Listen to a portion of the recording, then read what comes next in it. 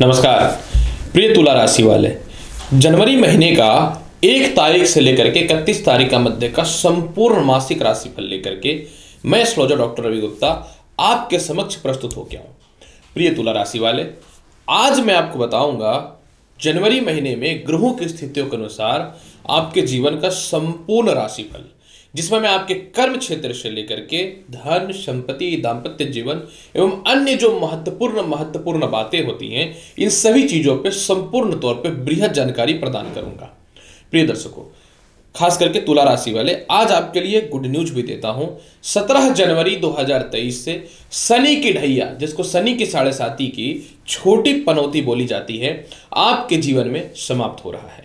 यानी जीवन में ढाई वर्षों से चल रहा कष्ट जो है अब जा करके कुछ कम होने के कगार पे आ जाएगा। तो चलिए, तुला राशि वाले, प्रारंभ करता हूँ 2023 के पहले महीने का, यानी जनवरी महीने का संपूर्ण मासिक राशि फल। प्रिय तुला राशि वाले, सर्वप्रथम मैं प्रारंभ करता हूँ आपके कर्म क्षेत्र का हाल। तुला राशि वाले, आपके कर्म क्षेत्र पे 17 जनवरी तक शनि की दृष्टि है 22 जनवरी तक शुक्र की दृष्टि है, और 14 जनवरी से सूर्य की दृष्टि पड़नी चालू हो जाएगी। सर्वप्रथम मैं आपको यह बता दूँ, क्योंकि शनि जो है आपके कुंडली में 17 जनवरी तक केंद्र त्रिकोण राजयोग की स्थिति में रहेगा। जब 17 जनवरी तक शनि केंद्र त्रिकोण राज्यों की स्थिति में रहेगा तो यह कर्म क्षेत्र को अपने जो इनके काल पुरुष की कुंडली में कारकत्व स्थान होता है, जहाँ के ये कारक माने जाते हैं, वहाँ इनकी दृष्टि रहेगी। शुक्र जो है आपकी कुंडली में राशि के स्वामी है वह भी कर्म क्षेत्र को देखेंगे। स्पष्ट तौर पर यह प्रमाण साबित हो रहा है। और 14 जनवरी से जो है सूर्य भी देखेंगे। तीन तीन ग्रहों का दृष्टि कर्म क्षेत्र पे पड़ना यह लाभकारी पोजीशन पे रहेगा। यानी आपके जीवन में जो है 22 जनवरी 2023 तक नए व्यापार और नए नौकरियों के बहुत ही बेहतर आयाम दिखने प्रारंभ हो जाएँगे। जिनको नौकरी को लेकर के परेशानियाँ थी, दूर हो जाएँगी। व्यापार में नए तरक्की के बेहतर अवसर खुलने चालू हो जाएँगे।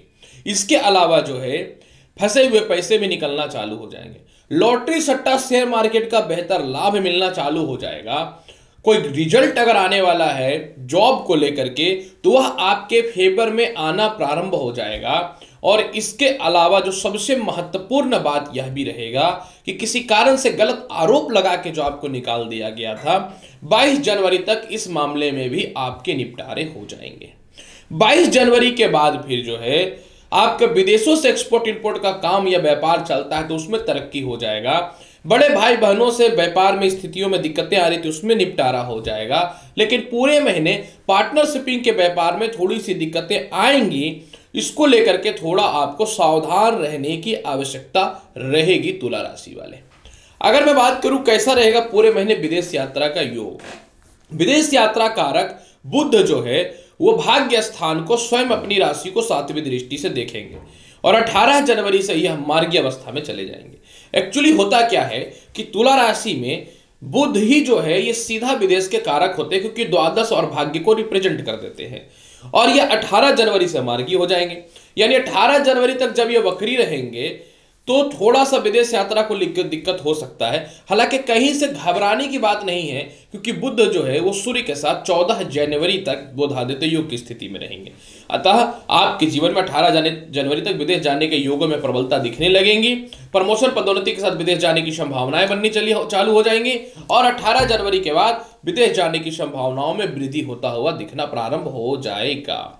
दूसरी महत्वपूर्ण बात यहाँ पे मैं बता दूँ कि शनि और शुक्र जो है 17 जनवरी से और 22 जनवरी से भी आया स्थान को देखेंगे। यानी 18 तारीख के बाद निश्चित तौर पे जो है, आपके जीवन में विदेश जाने की संभावनाएँ बढ़ जाएँगी। अगर मैं बात करना चाहूँ, कैसा रहेगा? इनकम का सोर्स। आपकी कुंडली में आय कारक मंगल है। इत्तेफाक से भले ही मंगल अशुभ पोजीशन पे है, लेकिन सातवीं दृष्टि से वो आय स्थान को देख रहे हैं और आय कारक ग्रह जो है आपकी कुंडली में वह सूर्य होते हैं। अब यहाँ पे सर्वप्रथम मैं आपको यह बताना चाहूँ कि आपके जीवन में सत्रह जनवरी से सूर्य जब पंचम स्थान में आएँगे तो वह सातवें दृष्टि से आय स्थान को देखेंगे।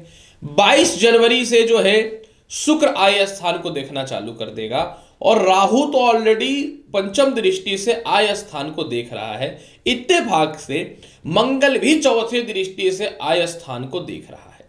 सीधी बात है, ज्योतिष शास्त्र का नियम है कि आय स्थान को जितना ज़्यादा ग्रह देखेगा मनुष्य के जीवन में उतने आय के सोर्स बढ़ते हैं। यानी पूरे महीने धन में विशेष प्रबलता दिखता हुआ बनता है। लेकिन 17 जनवरी के बाद इनकम का सोर्स बहुत ही ज़बरदस्त बन जाएगा। इसकी शुरुआत तो 14 जनवरी से ही होनी चालू हो जाएगी।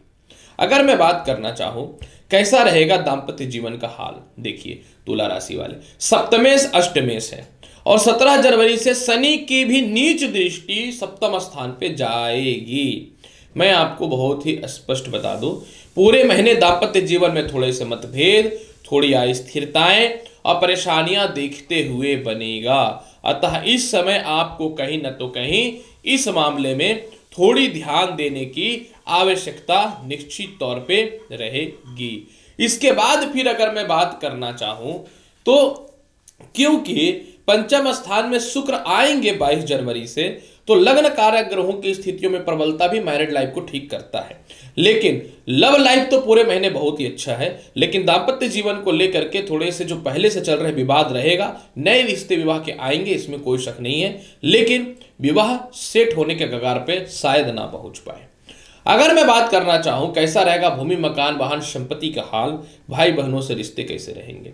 देखिए भाई बहनों से रिश्ते की बात अगर करूँ, छोटे भाई बहनों से रिश्ते बहुत ही अच्छे रहेंगे और 14 जनवरी के बाद बड़े भाई बहनों से, चाचाओं से रिश्ते सुधार जाएँगे। माता की बात करूँ पूरे महीने माता से तालमेल बहुत ही बेहतर रहेगा, बल्कि 17 जनवरी तक माता से लाभ के योगों में प्रबलता दिखेगी। पिता से जो है 17 जनवरी के बाद तालमेल बेहतर होंगे, क्योंकि शनि की कर्म क्षेत्र पे दृष्टि, जहाँ कर्क राशि शत्रुबद्ध संबंध रखता है शनि कर्क राशि से तो 17 जनवरी के बाद पिता के स्वास्थ्य में और पिता से तालमेल में आपका सुधार होना चालू हो जाएगा। संपत्ति की बात अगर करूँ, पूरे महीने भूमि, मकान, वाहन संपत्ति का योग बहुत ही प्रबल है। इसमें कोई शक नहीं है, कोई प्रॉपर्टी से रिलेटेड विवाद या अस्थिरता या परेशानियाँ हैं, दूर हो जाएगा। इतना तक कि 14 जनवरी के बाद पैसे को लेकर के जो वाहन या संपत्ति आप नहीं बना पा रहे थे, वो अभी मिलना प्रारंभ हो जाएगा। अगर मैं बात करूँ, कैसा रहेगा पूरे महीने आपके जीवन में? लॉटरी, सट्टा, शिक्षा, संतान का हाल। अगर मैं बात करूँ इस मामले में तो पंचम स्थान पे शनि 17 जनवरी से विराजमान हो जाएँगे। और सबसे महत्वपूर्ण बात 22 जनवरी से शुक्र भी पंचम स्थान पे विराजमान हो जाएँगे। अब यहाँ पे क्या होगा? फ़िलहाल तो स्पष्ट तौर पे मैं बता दूँ कि केतु की दृष्टि पंचम स्थान पे थी। लेकिन जब से शनि मकर राशि में शुभ अवस्था में आया था, तब से थोड़ी हालात में सुधार हुई थी। यानी 17 जनवरी तक आपके जीवन में जो है लॉटरी, सट्टा, शिक्षा, शेयर मार्केट का हाल ठीक ठाक रहेगा। 17 जनवरी के बाद उच्च शिक्षा का लाभ है। रिज़ल्ट आपके फेवर में आना चालू हो जाएगा।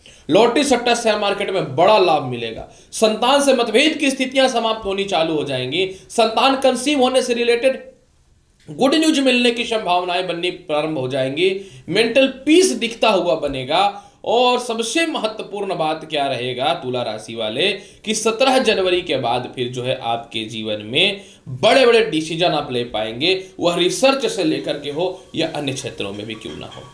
अगर मैं बात करना चाहूँ, पूरे महीने कैसा रहेगा? आपके जीवन में स्वास्थ्य संबंधित स्थितियों का हाल, कर्ज का हाल क्या रहेगा? केश मुकदमा का हाल क्या रहेगा? स्वास्थ्य कारक स्थान पर स्वयं अपनी राशि में बृहस्पति बैठे हुए हैं।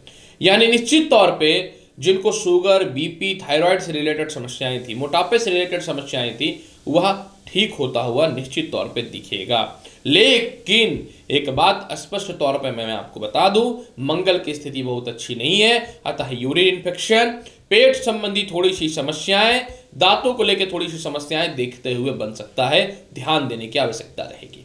उपाय के तौर पे पूरे महीने हनुमान चालीसा का पाठ आपको करना है तो करना है। इसके अलावा जो है पूरे महीने आपको जो है, किसी भी सिचुएशन पे जो है, भगवान शिव के शिवलिंग पे जल में मधु मिला करके अर्पित करें। जो विवाह को लेकर के समस्याएँ उसमें कमियाँ दिखनी चालू हो जाएँगी।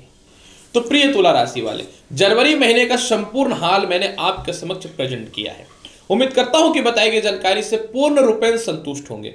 तो चैनल पे नए हैं तो लाइक करिए शेयर करिए सब्सक्राइब करिए। मैं हूँ डॉक्टर रवि गुप्ता मिलता हूँ अगली वीडियो में और महत्वपूर्ण और ज्ञानवर्धक जानकारी के साथ। तब तक के लिए नमस्कार अच्छे से रहिए धन्यवाद।